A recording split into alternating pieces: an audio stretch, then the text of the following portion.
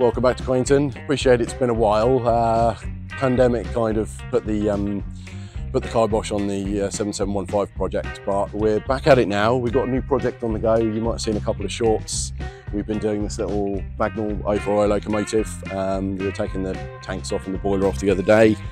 We've got uh, a few bits on the go getting this ready for taking the tubes out for boiler inspection, um, inspection by the insurance and a plan of work. So I'll take you through what we're, what else we're doing, we'll have a look at the chassis and hopefully see you again. So you probably see, or hopefully seen the project already. This is a, um, a Bagnall shunting engine. It's quite an interesting little beast. It was used for, um, as you can see with the two sets of buffers for shunting some really low wagons in a, I can't remember what it was, a steelworks maybe. We'll find out. I'll put it on the screen. Um, it's perfect for us. It was owned by a member who sadly passed away and uh, gifted it to the society. It's um, come up as a potential overhaul, so we stripped it down quickly, taken the boiler out. We're just doing a few bits and pieces to pieces to make absolutely sure that it's a viable contender for overhaul, but it's looking pretty good so far. So that's the project. We'll go and have a look at that in a minute. Should we do some team introductions? Meet Will. Hi, I'm Will and I like trains. Hi, I'm John. Let's meet Jonathan next. Hello.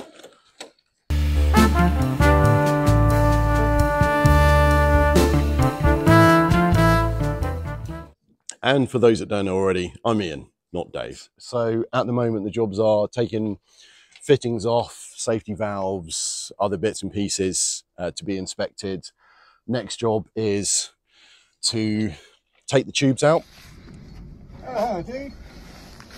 I am grinding out the uh, boiler tubes, uh, ready for this uh, loco to be. Aha. Uh, so you're just taking the the beads off the end here. Yeah, just taking the beads off. So as you can see, I'm getting close to the top, so I've got to be very careful.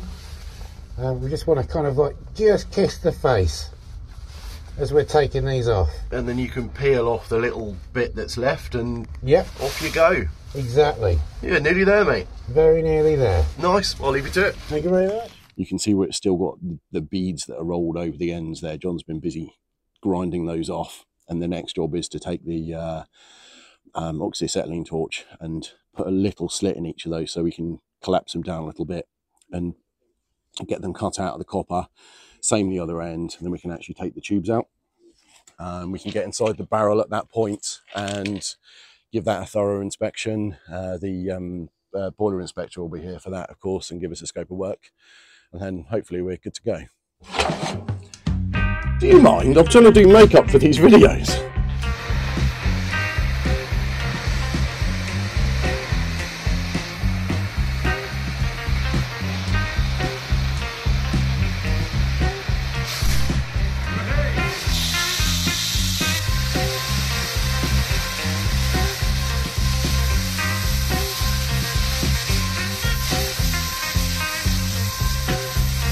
What are you doing, John? Well, uh, I'm just removing this uh, plug from uh, Dick's old engine, and uh, we're about to remove the rest of this cladding, getting this uh, boiler ready to be rebuilt. Marvellous. So, uh, Oh, look at that. Love to see it. it's a great spanner. So we've got plenty more going on besides Scotty, which is our nickname for the loco we've just been looking at. We've got some maintenance jobs, some coach work, general bits and pieces, some operational stuff. We've got uh, Isabel here, who's kindly in on loan from the Epping Ongar Railway. So we'll drop a video of uh, firing her up for a test team next week. William will be in charge of that, including breakfast on the shovel. We'll hope to see you again. Please like and subscribe for more. Thank you. right, j- j- start riding. What you doing, John?